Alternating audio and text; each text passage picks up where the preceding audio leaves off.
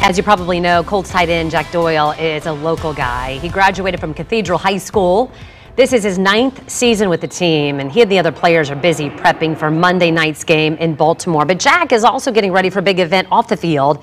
It's a second annual All-Star Bowl for the Dayspring Center here in Indianapolis. It's October 18th, and I spoke to him after practice earlier this week about the fundraiser and why this is so important to him.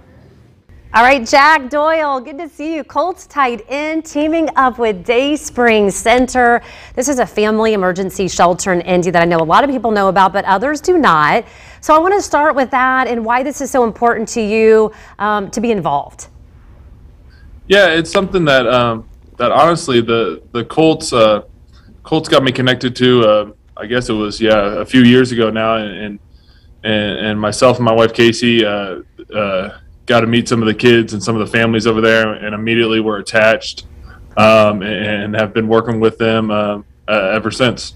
All right, so you do this All Star Bowl. It is coming up on Monday, October 18th.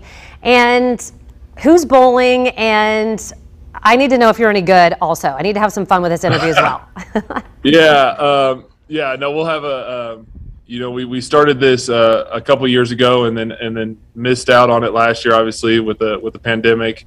Um, so we're excited to, have it back going, and uh, it, it's a great fundraiser, and uh, and it's my type of fundraiser, you know, more so than having a sit down dinner or, or, something like that, where we all we all get to go out and and, and do an activity, and, and we'll have some have some of my teammates out there, and and, and um, you know we'll have some great uh, great businesses and, and companies from from around the, the local area that will be out there to to help support it, and uh, we're very thankful for that. Um, so yeah, it's going to be a lot of fun. I'm I'm not a great bowler. Mm-hmm. Um, it seems like bowling's one of those things you, I feel like I do like once every mm-hmm. once every year at this. So yeah. uh, so not a lot of practice, but uh, but always it's always fun. I, you know, I'm the uh, the kid comes out of me whenever I'm doing any type of, of sport or, or thing like that. Uh, uh, so I always have fun. You're a little competitive, I know as well, and I'm with you on the. You know, if I can wear jeans and a t-shirt to something. I'm all in. But if I have to dress up and sit down at a dinner, I'm like, oh my goodness. But let's I know you mentioned a little bit about COVID and how that changed things um, last year. It's good to be back this year. You found a, ra- way, though, to raise money for Dayspring last year, even through COVID, right?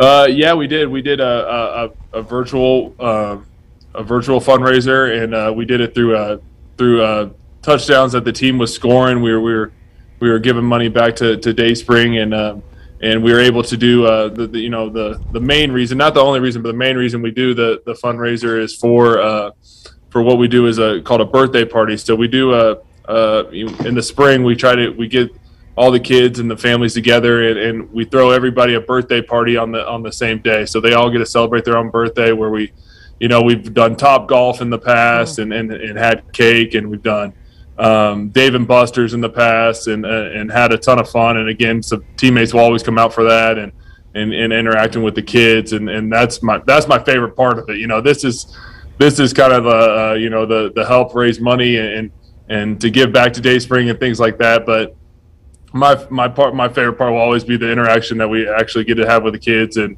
and you know my boys are getting older and having them interact with the kids and uh, it's just a ton of fun. Wow well thank you so much for giving us your time and your energy and, and doing something so great for our community. We're so glad you guys got a win. I mean it was interesting that you know we were talking eh, so and then now you're one game out of first place. So good job. We want you to keep winning and good luck to you guys. And thanks for joining us. Yeah thank you for having me Okay, so again, the All Star Bowl Monday, October 18th. Only a few lanes are left if you want to take part. If you're interested in reserving the spot, fox59.com slash links is the place to go.